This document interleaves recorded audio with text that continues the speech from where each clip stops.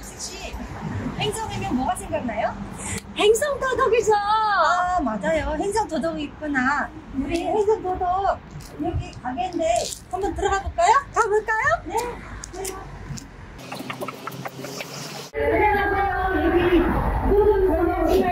예, 예, 행성이 도덕 맞아요? 예, 행성에서 도덕이에요.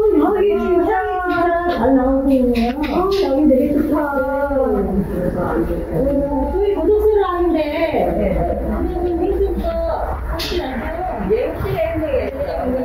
예, 맛있어요.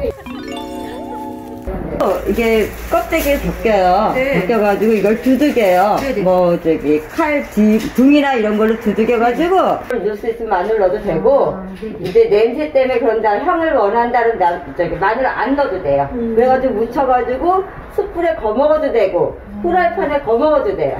다양하게 예, 예, 예. 도덕밥도 할 수 있죠. 저덕밥도 할 수 있죠. 오. 도덕구이, 도덕밥 그리고 도덕 무침도 할 수 있죠 그렇죠, 그렇죠, 그렇죠. 네, 이거를 많이 이게 갈아가지고 우유랑 꿀하고 이렇게 넣어. 그 행성에서 이렇게 건강에 좋은 음식이 유- 유명하다는 것이 자랑스럽네요. 어떤 음식을 해는 걸까요? 저는요, 전 꼬이 좋아해서 꼬이 해 먹을 거예요.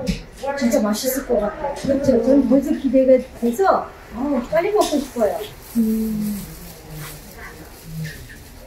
넉넉하게 드릴게요. 아, 감사합니다. 또 이게 깔때뭐 어떻게 까야지 잘 까는 걸 알려주세요. 근데 유튜브에 유튜브 같은데 보면은 뭐 물을 팔팔 끓는 물에다 이렇게 넣으라는데 향이 많이 되죠. 네, 향이 안 나고 하는 어, 진 진이 없어지는데요. 그러니까 그건 저는 추천하고 싶지 않아요. 네. 냉장고 2 시간 좀 놔뒀다가 하는 그러면 더 잘 딸려요. 네. 저기 감자 깎는 칼로. 그러면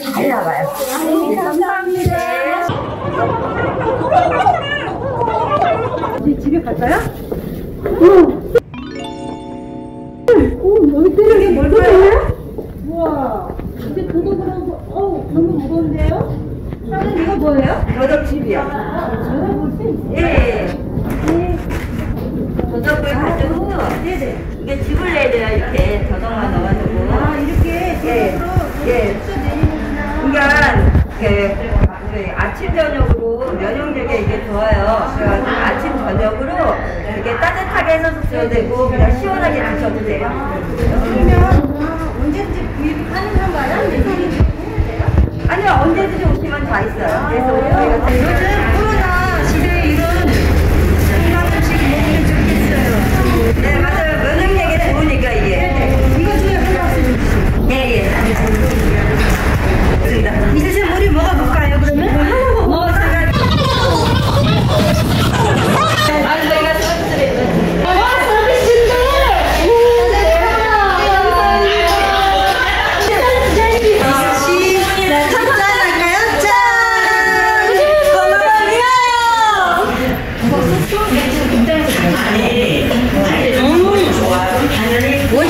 거예요?